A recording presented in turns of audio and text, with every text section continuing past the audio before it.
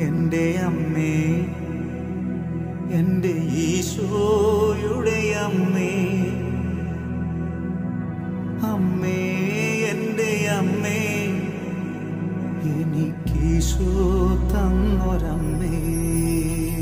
ഏത് ദൈവം തമ്പുരാൻ നമ്മുടെ മുമ്പിൽ വന്ന് നിന്നാലും ചില കാര്യങ്ങൾക്ക് യെസ് അതെ എന്ന് ഉത്തരം പറയുന്നതിന് മുൻപ് വ്യക്തമായ കാഴ്ചപ്പാടുകൾ നമ്മുടെ സംശയങ്ങളെല്ലാം നിവാരണം ചെയ്യുന്ന ഒരു സ്ഥിതിവിശേഷം. വന്നു ചേർന്നിരിക്കണം. ഈ ഒരു ആശയം നമ്മെ പഠിപ്പിക്കുന്നത് പരിശുദ്ധ അമ്മ തന്നെയാണ്. നമുക്കറിയാമല്ലോ ലൂക്കായുടെ സുവിശേഷം ഒന്നാം അധ്യായത്തിൽ സ്വർഗത്തിന്റെ വലിയൊരു ഓഫറുമായിട്ട് ഗബ്രിയേൽ ദേവദൂതൻ പരിശുദ്ധ അമ്മയുടെ മുമ്പിൽ വരികയാണ്. പരിശുദ്ധ അമ്മയെ ദൈവപുത്രന്റെ മാതാവായിട്ട് തിരഞ്ഞെടുക്കുന്നു. പരിശുദ്ധ അമ്മ ഉടനെ സമ്മതമാണ് എന്ന് പറഞ്ഞോ? ഇല്ല. പരിശുദ്ധ അമ്മ വ്യക്തമായ ഒരു ചോദ്യം ചോദിക്കുന്നു. ലൂക്ക ഒന്ന് മുപ്പത്തിനാലിൽ നമുക്ക് കാണുവാൻ സാധിക്കും. എന്തായിരുന്നു ആ ചോദ്യം? ഞാൻ പുരുഷനെ അറിയുന്നില്ലല്ലോ. പിന്നെ ഇതെങ്ങനെ സംഭവിക്കും?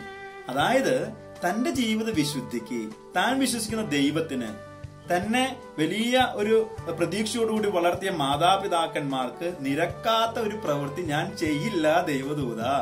അതുകൊണ്ട് കാര്യങ്ങൾക്ക് കുറച്ചുകൂടെ വ്യക്തത വരുത്തണം എന്നാണ് പരിശുദ്ധ അമ്മ പറഞ്ഞത്. അതിന് വ്യക്തമായൊരു മറുപടി ദൈവദൂതനിൽ നിന്ന് ലഭിച്ചതിന് ശേഷം മാത്രമാണ് പരിശുദ്ധ അമ്മ അതെ ഇതാ കർത്താവിന്റെ ദാസി ഞാൻ തയ്യാർ എന്ന് പറഞ്ഞത്.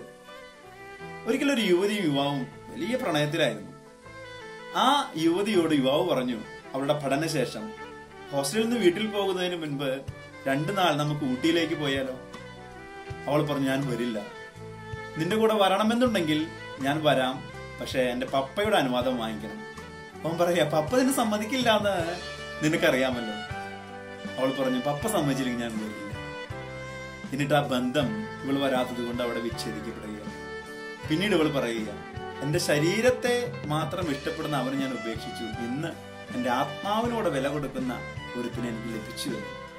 സ്നേഹമുള്ളവരെ നമ്മളുടെ ശരീരം അതുപോലെ തന്നെ നാം വിശ്വസിക്കുന്ന ദൈവം നമ്മുടെ മാതാപിതാക്കന്മാർ ഇവയ്ക്കും ഇവർക്കും നിരക്കാത്ത ഒരു പ്രവൃത്തിയും ചെയ്യാതിരിക്കുവാനുള്ള കൃപ നമുക്ക് ലഭിക്കട്ടെ. വ്യക്തമായ തീരുമാനങ്ങൾ എടുക്കുവാനുള്ള വലിയ ശക്തി പരിശുദ്ധ അമ്മ നമുക്ക് നൽകട്ടെ. പരിശുദ്ധ അമ്മയുടെ മാധ്യസ്ഥം എല്ലാവർക്കും ലഭിക്കട്ടെ. പിതാവിന്റെയും പുത്രന്റെയും പരിശുദ്ധാത്മാവിന്റെയും നാമത്തിൽ